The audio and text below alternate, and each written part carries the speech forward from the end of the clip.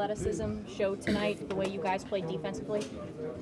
I'm not sure if that was the athleticism. I think it was just the grit of our team. Um, you know, like I said, we've had a rough past month or two, and we just wanted to play how we normally play. And you know, all week we were doing rotations, and you know, the you know the scout and everything. We just we wanted to make sure we knew what they were doing and when they were doing it, how they were doing it, who they were going to, who takes the most shots, who you want to foul, you know, all this, who to box out, you know, everything that goes into the scout. We, we went over that over and over again, and we were just well prepared. So we are just gritty out there, and we just wanted to win.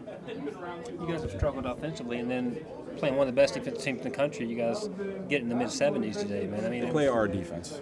So when you play like, it's it's not it's not easy to score on at all, and you know that's credit to them. You know, obviously their coaches has worked with them extremely, you know, well with that because obviously Baylor in the past few years has ran zone with a seven footer under the under the basket, one three one, whatever, you know. But I think tonight, you know, we just we got out, we got a lot of points in transition. I think um, I don't know, I didn't see the, the box score or whatever, but you know, I feel like we just tonight was just a game where we just we wanted it more, and you know we, that's got to be our our mindset going into every game from here on out. We just got to want it more than everybody else, and we'll be fine. Did you have any clue that Chase was going to do what he, he, did?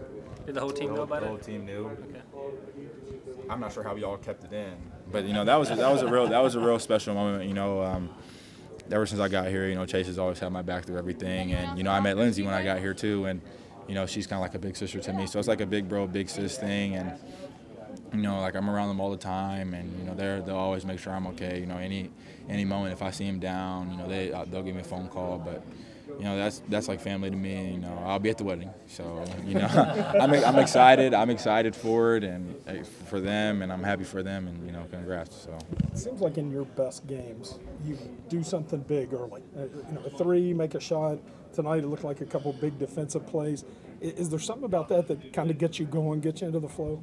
I was told this week that I can't guard anybody, so I'm not gonna say by who. I was, it wasn't. It, it, it, no, you, no, you guys won't be. Able, you guys wouldn't. You guys wouldn't even guess. That's the thing. So I, you know, I, I took a lot of pride this week, and you're not scoring on me. So I mean, obviously, I got scored on three times, and I was counting, and those ones hurt. Like, and Huggs always tells always tells us if you get scored on and you're not mad or it doesn't like hurt your feelings, then you know, then you shouldn't be playing basketball. So, and, you know, tonight when I was getting scored on, I was like, I was actually upset with myself. So, you know, I just think I need to have that gritty defensive mindset going forward, and that'll obviously translate into offense.